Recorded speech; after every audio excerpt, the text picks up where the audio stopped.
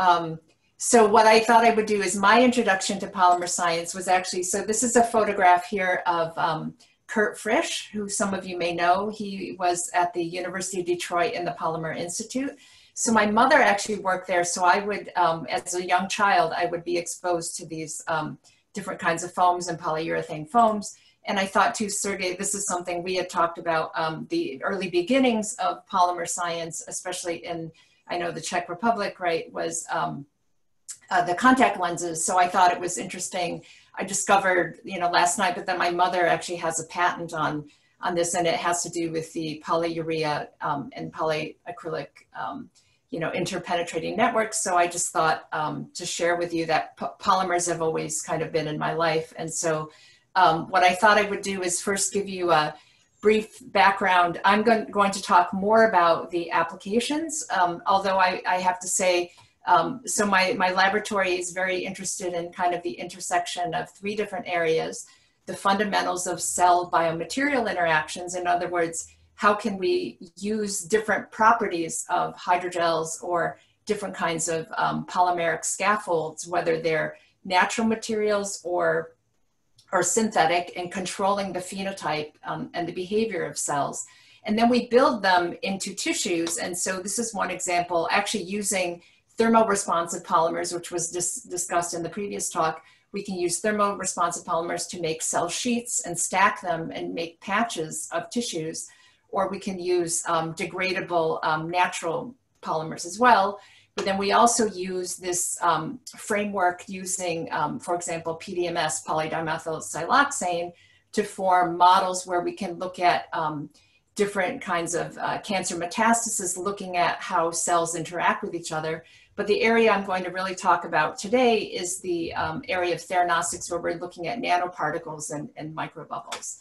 Um, and so just to, to do that, I'm going to tell you three short stories one has to do with enhanced oil recovery, um, and uh, the second has to do with calcific valve disease, and then finally talking about abdominal surgical adhesions. And for each one, I will touch on the different kinds of areas. So for example, the first story has to do with iron oxide um, nanoparticles, which can be used for magnetic resonance imaging. And the, the focus here I really want to talk about is nanoparticle aggregation where we look at um, molecular theory and, and experiment and how theory can predict what the behavior will be.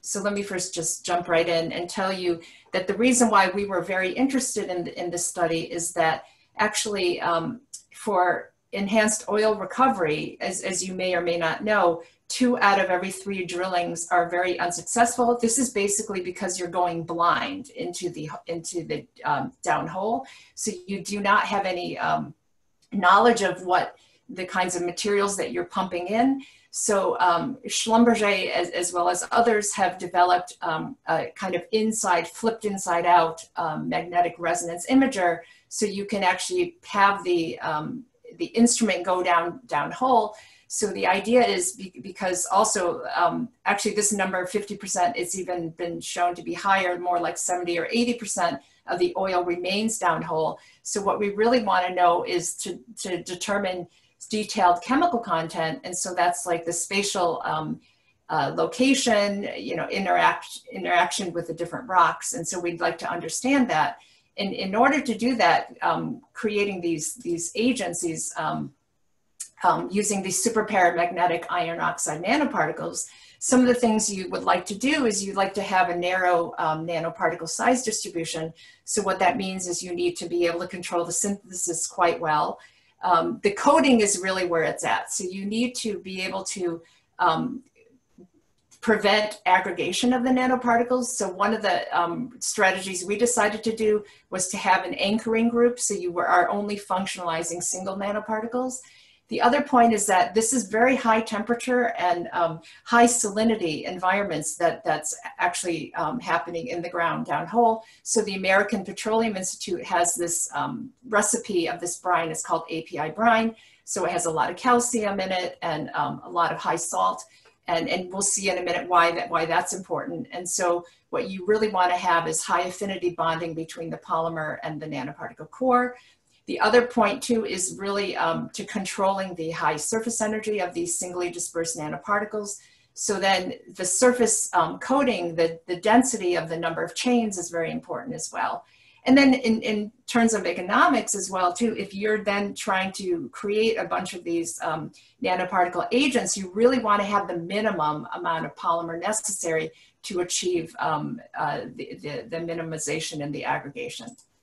So to do that, if we just take a look at colloidal forces, everybody knows, right, that you have van der Waals attraction, right? You so these will then, um, if you have two particles that are interacting, right, the van der Waals forces are driving them together, which you can see in this um, combination of the different forces. But you also can have steric repulsion to kind of counteract that. And then depending on the, the, what the surface charge is or the charge, you know, the, the, the stern layer or the outer Helmholtz plane, right, you you have the electrical double layer, and, and uh, as I mentioned to you already, this is API brine, which was is a highly um, negatively charged um, medium.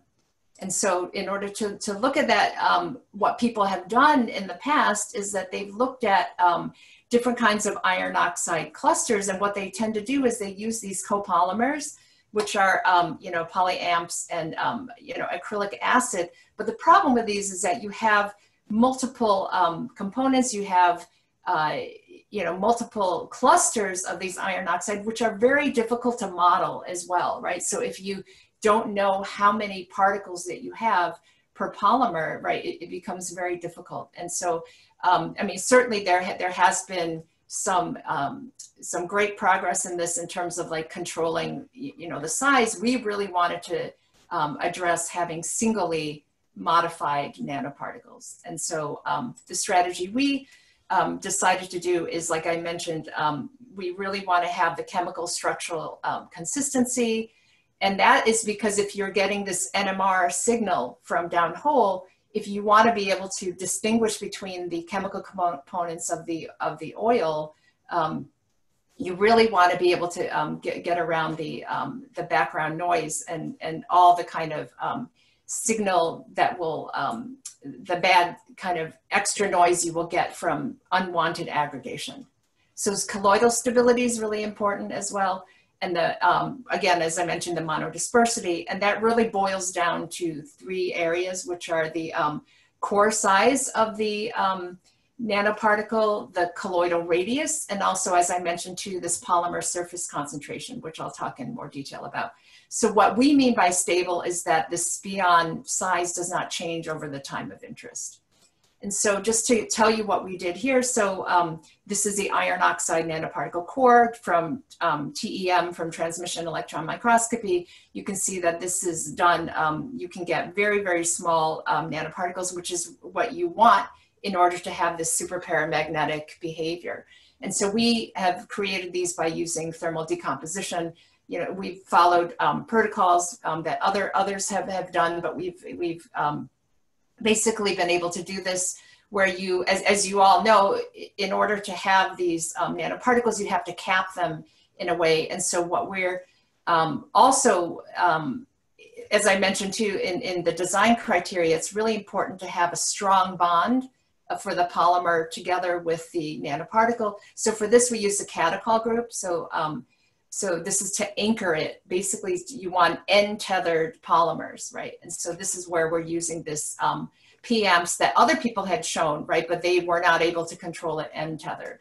And so to do that, um, we actually, you take these oleic acid um, capped spions, right? And then you can exchange them with citric acid um, spions. You can actually do polymer grafting um, too, but we found that it's more effective if, if, you actually first exchange with citric acid. And so um, essentially um, we, we used um, ATRP to do this. So we um, made this initiator basically that you could, you know, add this to the group and then basically you can, you can either graft from or graft to. We found um, that it was better to actually make the polymer in solution and then graft to. As you'll see in a minute, there are challenges in terms of um, growing them and getting enough um, surface density on here. And, it, and it's, as I'll show you, it, it's going to depend on the molecular weight of the polymer. So having that in, in mind, um, this, I want to just explain the, the theory because we, what we really were um, hoping to do is because with um, computational modeling, you can access a much wider um, in silico space than you can in terms of doing the experiments. So this is a collaboration with Igal Szleifer at Northwestern University. So those of you may be familiar with uh, the molecular theory that they've been doing for, for many, many years, um, looking at, um, you know, polymer um, uh, chains and their distributions and the, the end tethered and looking at different layers of polymers. So essentially you minimize the, the free energy um, and these are just the different components in here. This is just very simplified here. We've actually published on, on this work and I have the reference in the, the following slides. But like I mentioned, you have the electrostatics, the van der Waals, the, the chemistry, the repulsive, and also the, the nanoparticle interaction. Also added in here too are the acid-base kind of reactions um, in terms of seeing, you know, what is protonated or not as I mentioned, this is being conducted in this high um, salt, um, this brine condition. And so what you really are looking here at, this is the, um, this critical surface density, which I mentioned before, is really important because for, for economies of scale, if you, if you um, can uh, actually know what your minimum surface coverage is required, you then don't put more polymer in and then you can save in terms of like, in terms of um, putting these reagents down into in uh, downhole in terms of trying to do enhanced oil recovery.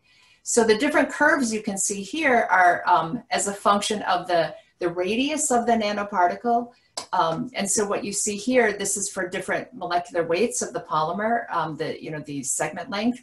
And so just to give you an example, so for, let's say, um, um, an iron oxide nanoparticle with, with a four nanometer radius, with 55 um, uh, you know, repeat units, you would then say this should be on the order of, um, you want a minimum of 0.045, um, a minimum number of chains per nanoparticle, about 14. And so, um, so this is what the, the theory was predicting. And so I'm not showing you all of, all of the experiments, just showing you the results. So this is actually, which, which was published here in Langmuir. You can see that um, for, we actually did two different um, uh, surface concentrations of the PAMPs. You had uh, the PAMPs. So you had a low surface coverage and a high surface coverage. And so this here, this curve is the um, calculated curve. And so you can see that we're actually, um, in terms of uh, what our prediction is saying for this five um, uh, nanometer radius, we should be above this curve. So what we, and in fact, that's what we observe. We do not see um, any aggregation in, in um, over for a period of four days in this API brine. In contrast, right, if we then do um, uh, the, the surface coverage, um, again, high and low, but we're, we actually, in this prediction, uh, for this particular case, right, this is a different molecular weight now. This is um, half as many um, repeat units. This is 25, this was 50. And for this concentration, you can see that this is telling you that you're going to have aggregation.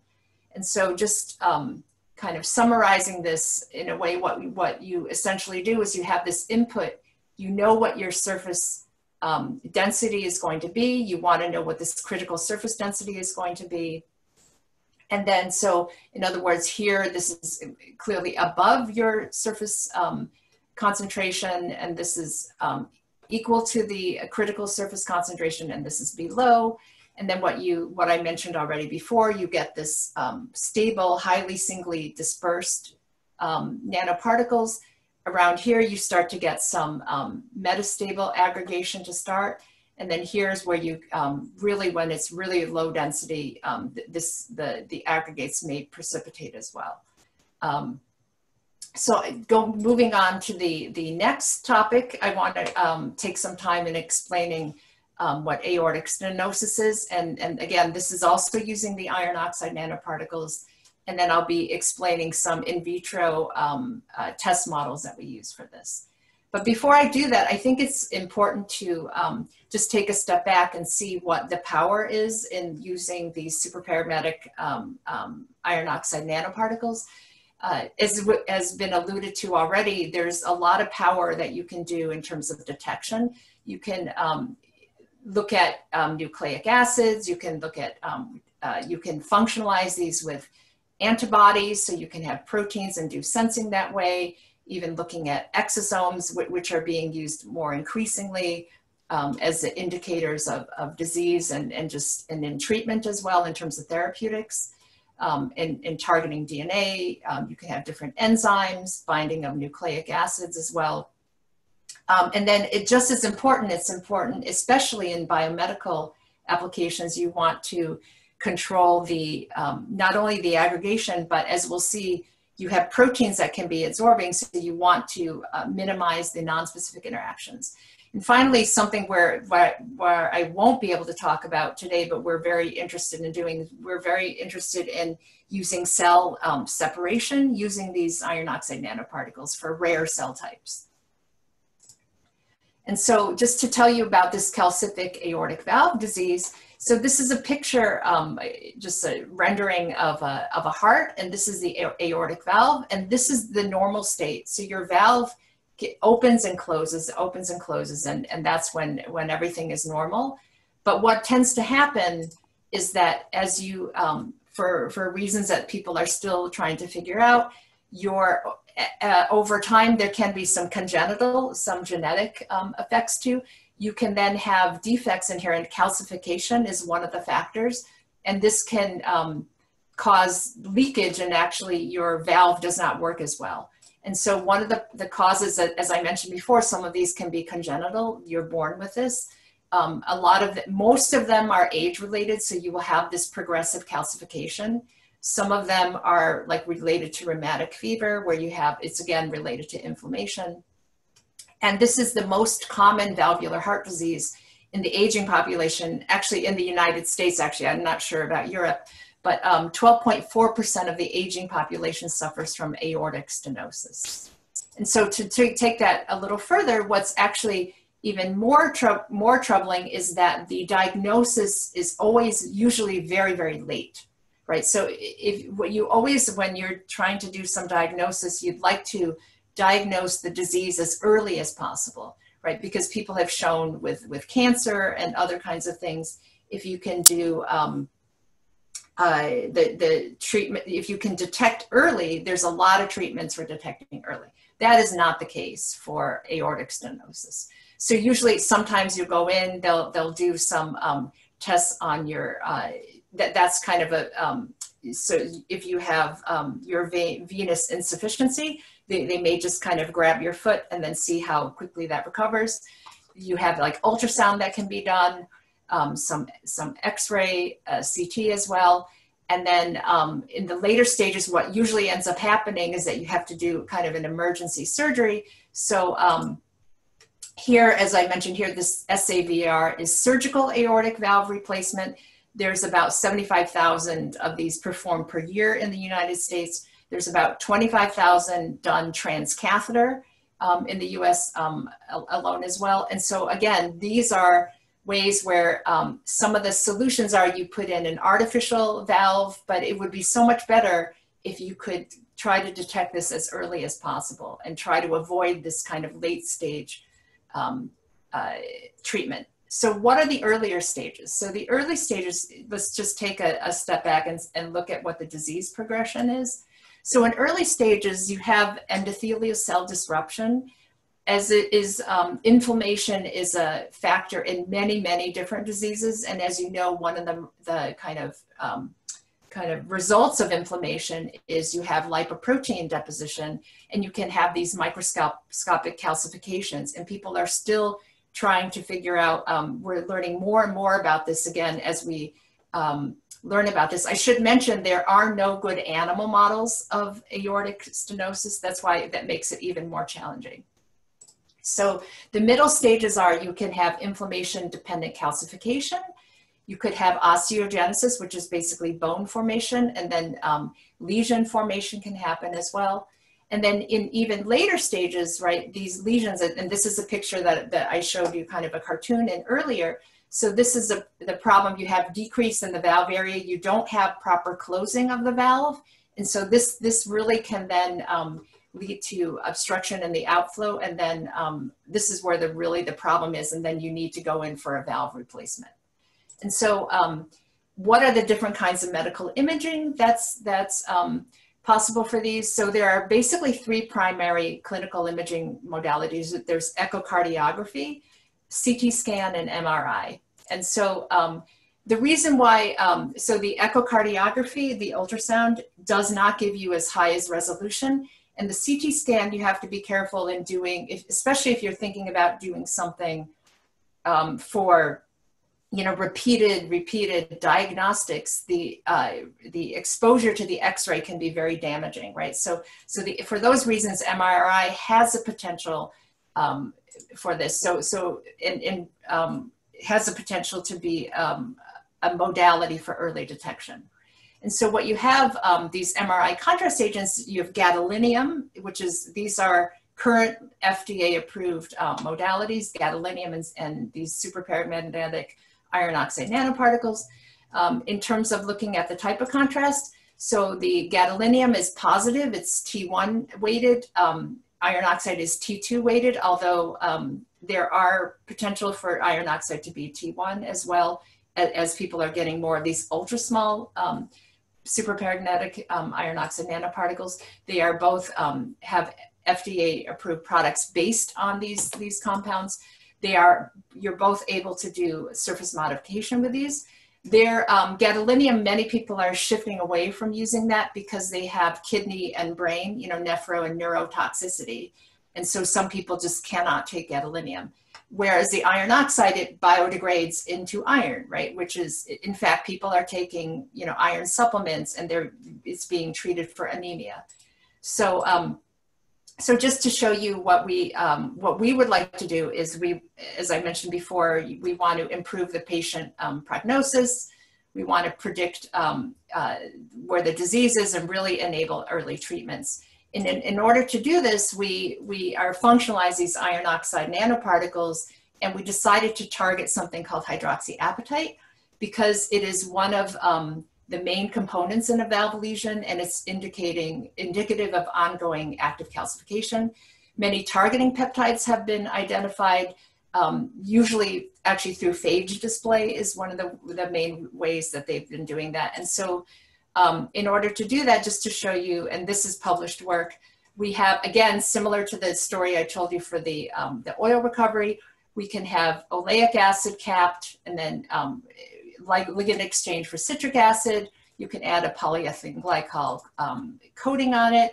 And then um, through functioning um, for different kinds of chemistry, you can then add these small peptides. So you have the hydroxyapatite binding peptide or also another peptide we were interested in at the time was osteopontin as well. And so what you see, um, something I'm, I'm, only showing you a little bit of the data because you can look um, on the reference if you're interested more. Something I've talked with Sergey quite a bit about is um, whenever you inject something into the body, you have to worry about serum proteins, right? And so um, because you'll have the corona layer that, that can form.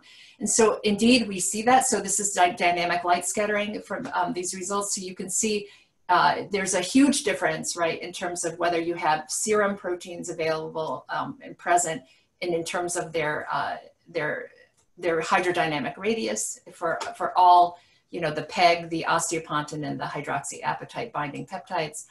Um, something else too is, however, we see that uh, predominantly the spions ex exhibit um, selective binding in 50% serum, and this is a Prussian blue stain, and you can see that there's a lot of binding to this cholesterol, um, which is not surprising, but you can see mainly that the binding happens to these, um, the hydroxyapatite and the osteopontin. Um, but what you see slightly more binding with the hydroxyapatite. So um, I just want to um, yeah, so so let me this I'll go through kind of quickly.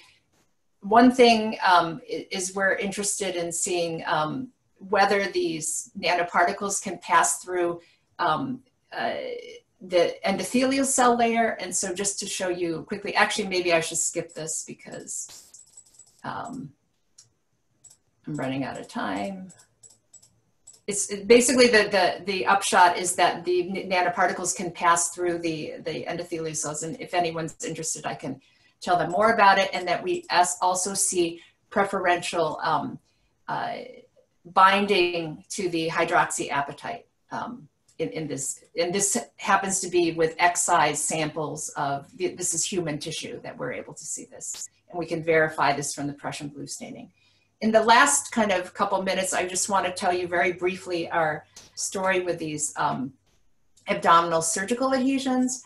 And so something um, you may or may not know is that whenever you have an open surgery, and that can be um, a C-section, a cesarean section, trauma, bowel reconstruction, you can have these bands of tissue that can form and cause like bowel kinks um, and small bowel disease. And so one of the things we're very interested is in being able to detecting and treating these.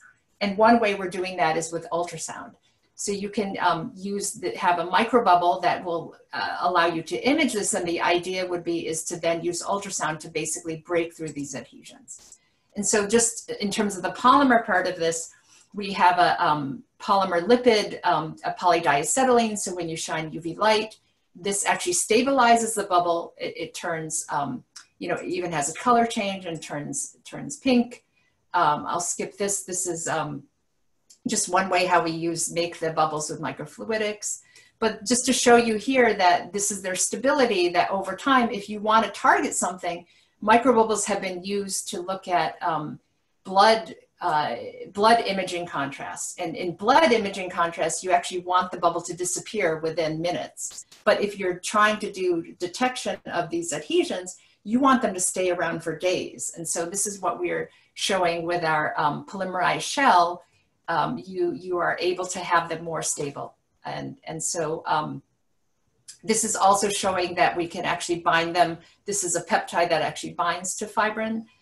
And um, I think I just, just have one last slide here. This is showing, um, or, or, two more slides. One is uh, showing in an animal model. So this is in a ischemic button model. You can see we can reproducibly form these, these adhesions. Like unlike I mentioned to you, the aortic stenosis, there is no animal model. Here we do have an animal model where we can then test our, our bubbles against this.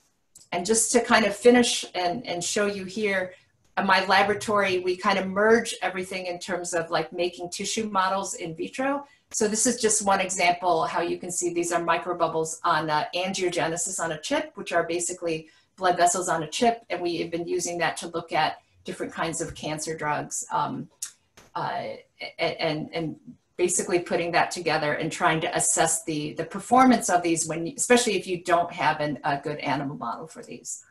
So with that, I just want to thank um, you for your attention and just acknowledge my, my collaborators and group members I've highlighted in here